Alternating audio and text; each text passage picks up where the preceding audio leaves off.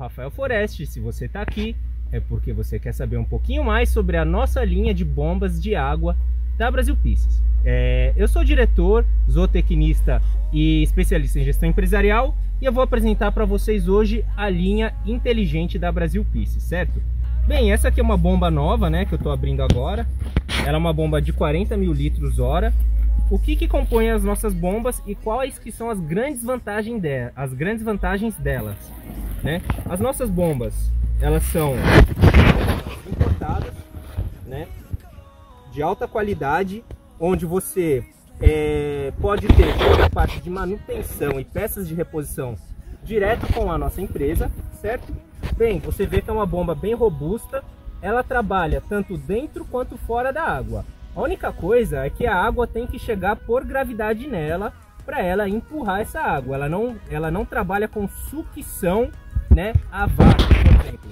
Se eu colocar ela aqui e colocar um cano dentro da água ali, ela não vai succionar a água, ela não vai sugar água aqui para dentro. A água tem que estar tá, é, chegando nela por gravidade, certo? Para ela empurrar a água.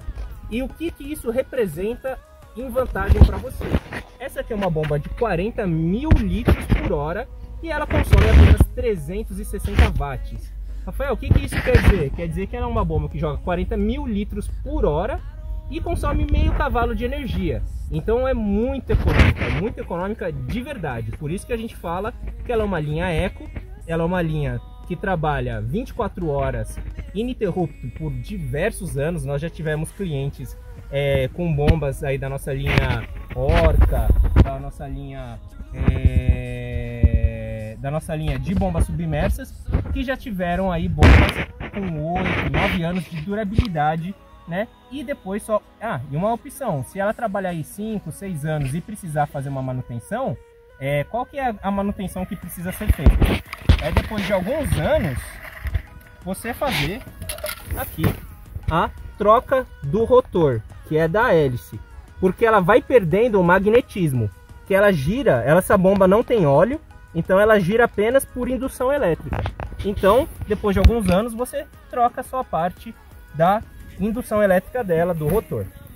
E a grande vantagem da linha Eco em si, nós temos várias linhas, igual a linha Orca, a linha Crebilisa, é, a linha é, Eco, né? Então o que, que acontece? A grande vantagem dessas linhas, né, da linha Eco, é que elas vêm com painel de comando e proteção. O que, que esse painel de comando e proteção ele vai fazer por você? Vamos supor, deixa eu abrir aqui. Ela vai proteger a sua bomba contra ligações erradas. Então, por exemplo, essa é uma bomba 220. Se eu pegar ela e ligar a energia no 110, o que, que vai acontecer? Né? Ela é 220 volts. Se eu ligar ela em 110 volts, ela não vai rodar. Ela vai desligar sua bomba, interromper o fluxo de energia e sua bomba vai estar protegida, ela não vai queimar, tá? Da mesma forma que se você tiver uma bomba 110 e ligar ela no 220, ela vai desligar, certo? Então é uma proteção de sub e sobrevoltagem que já acompanha o nosso painelzinho, tá? Outra grande vantagem de se trabalhar com o painel. Eu vou ligar ela para vocês. Ela tem um sensor térmico. Ó, ela tá rodando. O sensor térmico dela faz com que quando essa bomba esquente, ela entre em pane. Ela vai parar de rodar, ó. Vocês viram que ela parou de rodar. Ó, não tá apertando nada. Ó. Ela tá tentando rodar de novo.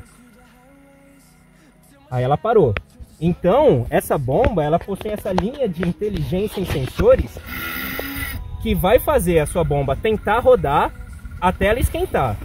Quando ela esquentar, o que, que vai acontecer? Ela tá com o power ligado.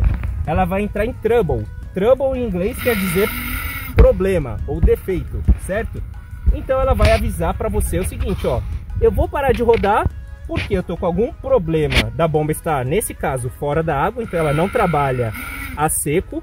Aí ela vai parar de rodar, vai indicar que tá com algum problema e você vai ter que vir aqui e resolver o problema dela, que é colocar ela dentro da água, nesse caso, né? Bem, outra grande vantagem que você vai notar é que você pode aumentar e diminuir a vazão de água. O que que isso quer dizer? Olha, entrou em trouble, tá vendo? Vem aqui mais perto. Tá vendo que começou a piscar? Ela interrompeu, ela não vai ligar mais. Até que alguém venha aqui acione ela para ela ligar de novo. Certo? Então o que que acontece? Você pode aumentar e diminuir a vazão dela conforme o seu gosto. Então ela trabalha aqui, por exemplo, até 20 mil litros, de 20 a 40 mil litros, certo? Então você pode diminuir e aumentar a vazão dela e isso também influencia no consumo de energia. Então quando você está com menos vazão, isso aí vai fazer com que ela trabalhe gastando menos energia. Então você tem essa possibilidade de regular a sua bomba, tá? Bem, Outra coisa interessantíssima, para você que vai usar essa bomba em criação de peixe, ela tem a opção feed. O que é a opção feed? Né? Ela vai estar tá rodando, vai estar tá jogando água normal. Você vem na opção feed, aperta aqui, ela vai ficar um, dois minutinhos desligada. Aí depois que você der a ração, ela volta a funcionar. Isso é bom para você que tem uma piscina natural, um lago ornamental ou um sistema de apicultura. Bacana? Então o mais importante para você que vai usar isso em fazendas, vai usar isso a campo, em lugares que dá muito problema de energia, é a proteção de subvoltagem, sobrevoltagem e sobreaquecimento. Bacana?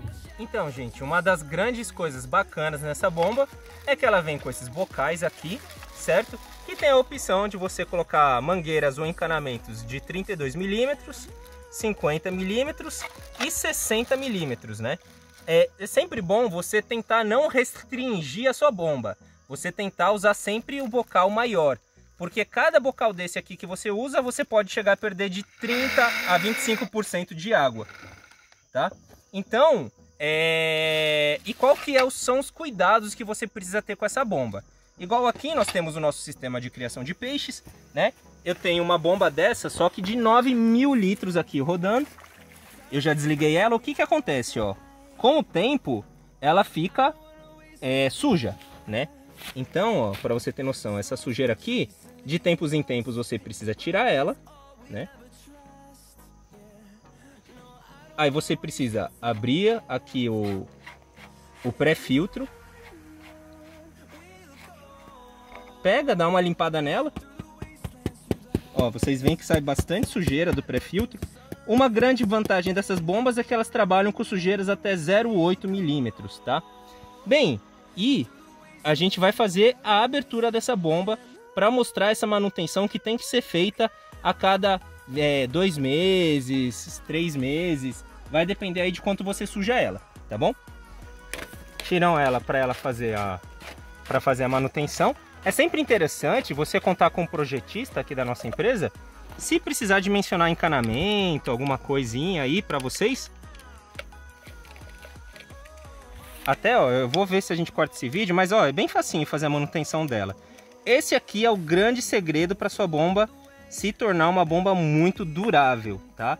Que é você limpar o rotor dela. Então, basicamente a gente vai desparafusar. Né? A gente vai cortar aqui o vídeo só para dar tempo de eu desparafusar aqui tranquilo. Pessoal, Seguinte, eu já tirei os parafusinhos aqui. Então o que que acontece? Guarda o parafusinho com cuidado. Ó, tirei a parte da frente. Certo? Aí você passa uma água aqui dentro para fazer uma limpeza prévia. Mas o mais importante de tudo é a limpeza do rotor, ó. Até caiu uma semente aqui, ó. Então, ó, esse rotor é o grande segredo tá? Da, da durabilidade da sua bomba. Ó. Tá vendo como faz tempo que a gente não limpa? Ó? O tanto de sujeira que está encrustada nela. E o problema é que essa sujeira ela pode chegar a travar a sua bomba. Então por isso que é interessante, ó. Ó, olha o estado desse rotor, tá vendo? Então, ó, tá vendo essa sujeira que vai incrustando nela? Se você fica aí um ano, dois anos sem limpar sua bomba, essa sujeira ela chega a enrijecer. Aí, ó, a câmera, que é onde o rotor fica armazenado, né? Que isso aqui fica aqui dentro e girando. Então, isso vai riscando a câmera e ela chega a aquecer, ó. Ela chega a quebrar, né? Ela chega a ficar toda riscadinha, ó. Deixa eu ver se é o, o caso da nossa aqui, ó. Ó, a nossa ela tá bem conservada, tá vendo, ó? Ela não tá com marca de risco. Ó, então ela tá bem conservadinha. Então, esse rotor você limpa ele na água, tá? Fez a limpeza na água, aí é bem simples você montar ela de novo. Você vem, encaixa com calma aqui, ó, ela vai sugar. Encaixou com calma, depois que você lavou, vem e parafusa de novo, tá? Parafusou, sempre o parafuso você faz assim, ó. Coloca o cruzado, coloca um aqui, um aqui, um aqui e o outro aqui. Faz ele sempre cruzado. Bacana? Fez isso, fica tranquilo que a sua bomba ela vai durar bastante tempo e você não vai ter problema de manutenção, não vai ter problema de gasto de energia, não vai ter problema de queima da sua bomba por algum funcionário, familiar, criança ligar na tomada errada. Então, trabalhe tranquilo, trabalhe com equipamentos de qualidade, trabalhe com a Brasil Pieces, os melhores do país, tá bom? Então, o nosso contato, gente, tá aqui na descrição e o nosso contatinho é o DDD 11 2021 5593, DDD 11 94704 8697 ou no contato arroba brasilpeace.com.br. Valeu, precisando de bombas, entre em contato, até mais.